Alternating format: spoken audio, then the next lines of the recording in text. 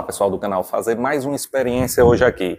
Nós vamos pegar essa placa de 200 watts, essa placa portátil da Croak, de mais ou menos 1,60m por 50 centímetros, quatro partes, e vamos usar, utilizar para carregar um banco de baterias Life PO4 de 88 amperes, CalB 88, que chega a dar 95 amperes. O que, é que a gente vai fazer aqui? Nós vamos utilizar alguns controladores de carga. Vamos utilizar um MPPT da EPEVER, nós vamos utilizar um PWM também da EPEVER e também vamos utilizar um MPPT, o mini MPPT aqui da Make Sky Blue, o elemento X que a gente já falou dele aqui no canal. Vamos tirar várias dúvidas, vamos ver a potência real dessa placa, que é anunciada como 200 watts, modelo de 200 watts, mas no anúncio ele coloca algumas especificações como se ela só produzisse aí 150 watts, modelo de 200, mais uma tensão final com uma corrente que produzirá em torno de 150 watts. E com base nessa placa vamos ver quantos amperes a gente consegue mandar para o banco de baterias Life PO4. Eu queria falar uma coisa dessa placa para vocês aqui, que eu anotei algumas especificações. Vejam só. Aqui no manual dela, a gente tem o modelo que seria aí modelo de 200, mas a tensão de trabalho seria no máximo 19.8 volts vezes 7.58 amperes, o que daria algo em torno de 150 watts real. E uma coisa interessante aqui é que eu comparei ela com uma plaquinha de 150 watts comum. Uma placa de 150 watts comum, você tem as seguintes medidas.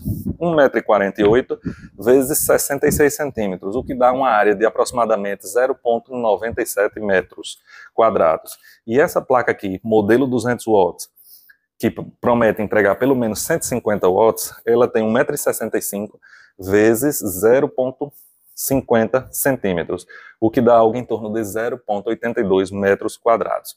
Ou seja, ela tem um tamanho menor do que a de 150 watts, aí policristalina comum, essas Resum que a gente compra. Porém, o que que entra aí nessa questão também? A de 150 watts comum, padrão aí, essa Resum de alumínio, ela tem eficiência de 15,5%. Essa Croak aqui, ela promete eficiência de 22%. Então, dá para encaixar uma quantidade de, da potência aí, os 150 watts, num tamanho menor, que seria esse caso aqui, mas que a gente vai ver agora na prática. Venha conferir aqui o material que a gente vai utilizar.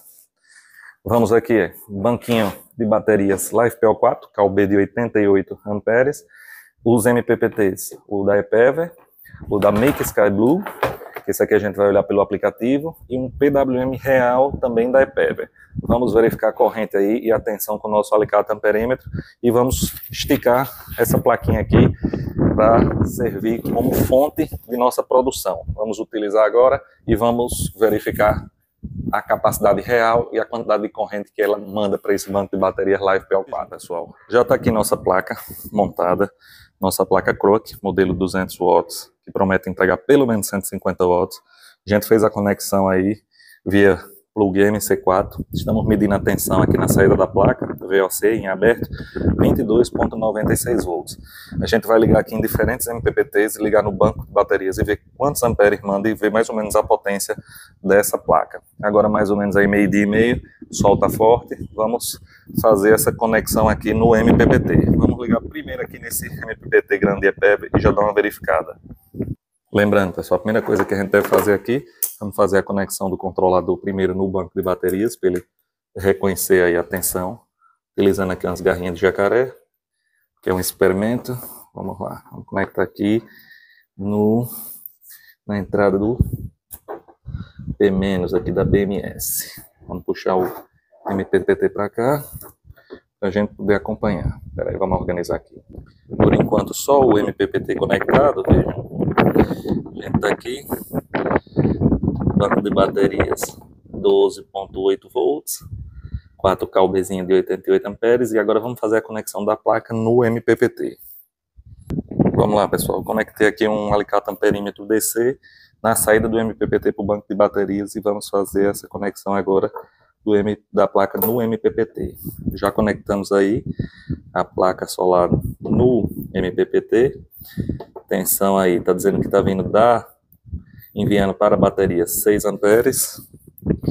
Aí mais ou menos 5.9 no alicate, 5.9 da placa, descendo 4.8, o MPPT convertendo para mais 5.6 amperes. Esse é o trabalho do MPPT, recebe uma corrente menor das placas e uma tensão maior, e aí converte 4,5 vindo da placa e mandando 5.5 para o banco de baterias. Nesse momento a gente está aí configurado para que ele manda os 14.4 volts para o banco de baterias e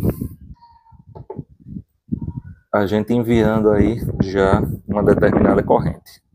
14.4 volts 5.3 amperes é o que a plaquinha está enviando aí utilizando esse MPPT aqui da EPEB. Vamos dar uma conferida aí da tensão que está no banco. Lembrando que esse banco de bateria Live PL4 ele está descarregado, ele tem 5 amperes. Eu montei, não carreguei ele, ou seja, ele vai absorver o máximo de corrente possível que ele puder. Vou só colocar aqui esse multímetro a gente dar uma monitorada na tensão aqui do banco. O banco vai subir a tensão aos poucos, 12.92 volts por 5.2 amperes. É isso que a placa está mandando nesse momento aqui ao banco de baterias. Vou tentar depois dar uma inclinada para ver se muda alguma coisa.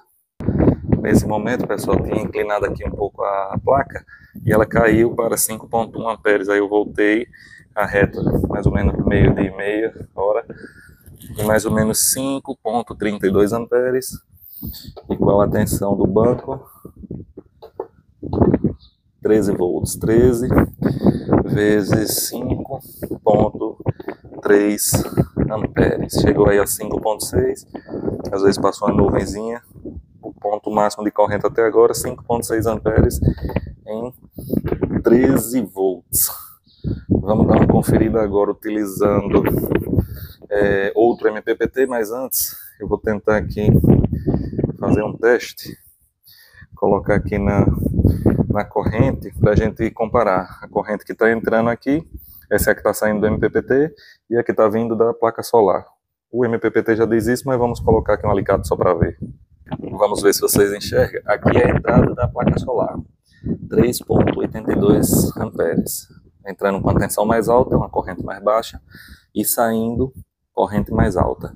Ele converte aqui, ele vai pegar ali esses 20 e poucos volts que está vendo da placa, ele vai reduzir para 14.4 para o banco de baterias, entrando 3,8, 3.9 e saindo aí 5.3 até 5.6, já bateu no instante 5.7 amperes.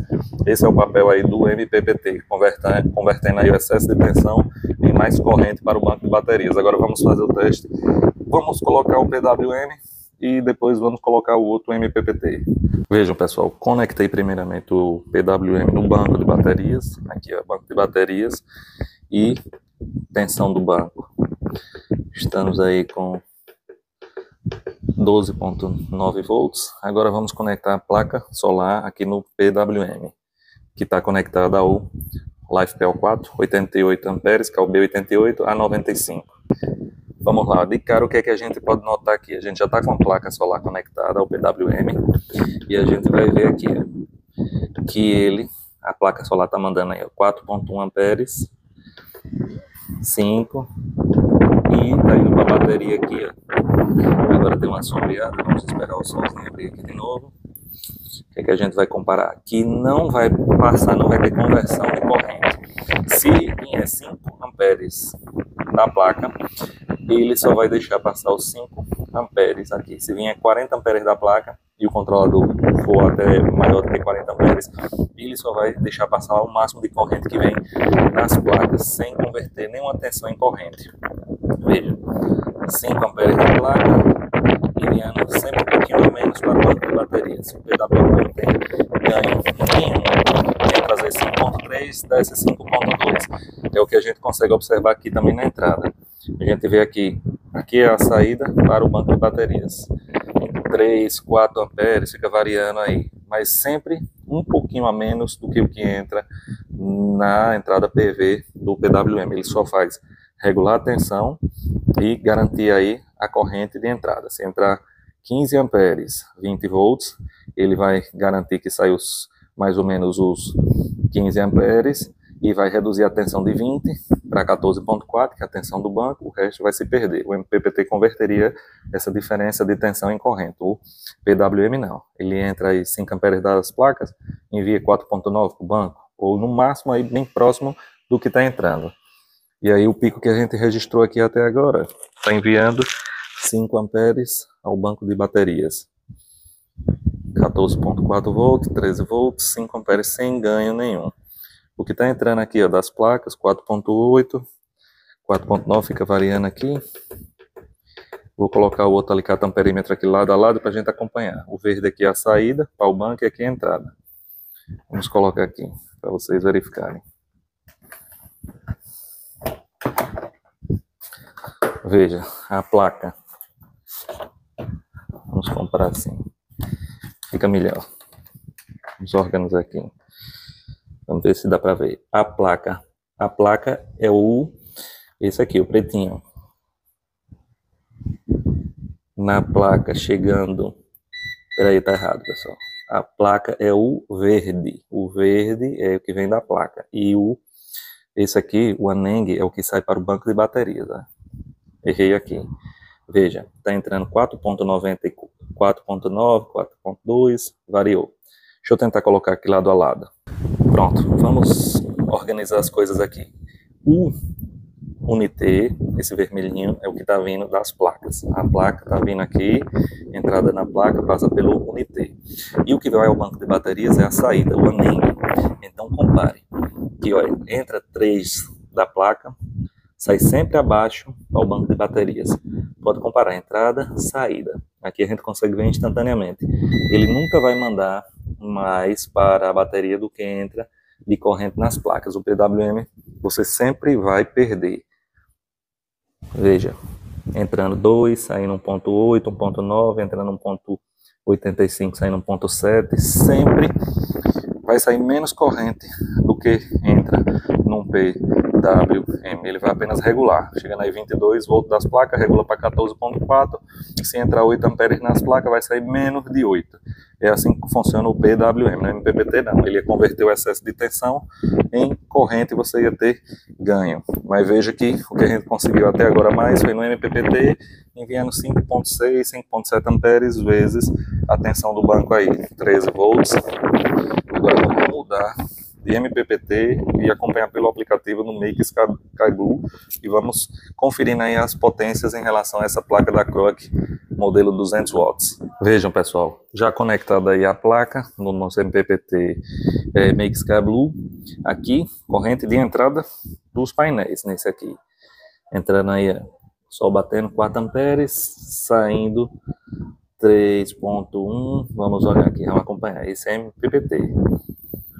E vamos acompanhar aqui também no aplicativo da Make Sky Blue, 4 watts aí, deixei bater um solzinho agora que sombreou, a gente pode acompanhar aqui no aplicativo. Vamos religar os alicates e a gente volta. Vejam pessoal, no aplicativo, já batendo aqui 93 watts a placa. No aplicativo ele diz a tensão do painel, a tensão para o banco, a potência em watts e a corrente que ele está mandando para a bateria. Chegou aí, vai passar de 90 e poucos watts a, a placa, dando aí mais ou menos 6 amperes para o banco, conforme o aplicativo aqui desse MPPT. Ele a gente verifica através do aplicativo da Make Sky Blue. Ou seja, a placa aí, pelo aplicativo, chegou próximo a 100 watts. No teste real aqui, registrou esse pico aí de 100. Vamos olhar como é que está aqui nos alicates. Entrando 4.2, saindo 4.26. Está bem próximo aí. Pouco ganho. Atenção, entrando 17, saindo 13.2, corpo de baterias. E aí vocês verificaram que ela promete aí picos de 150 watts.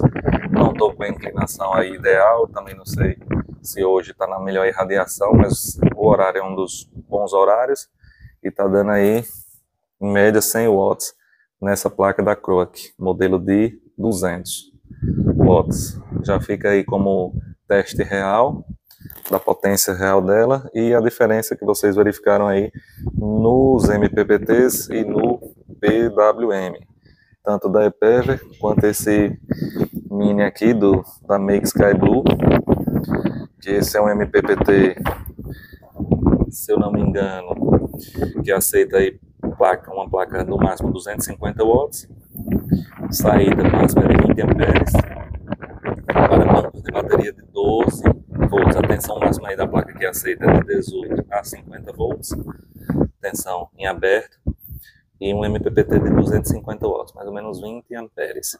Para uma placa de até 250 watts, é um bom MPPT aí. Agora, monitoramento é através do aplicativo. Vamos aqui, a gente saiu do, dos parâmetros e aí vai variando. Tem hora que alivia, passa uma sombrinha ali, filmando aqui não dá para ver, mas agora praticamente sombreou. É isso. Pessoal. E aí, pessoal, qual a conclusão que vocês acharam? Muita gente perguntou aqui quantos watts reais é uma placa dessa aqui.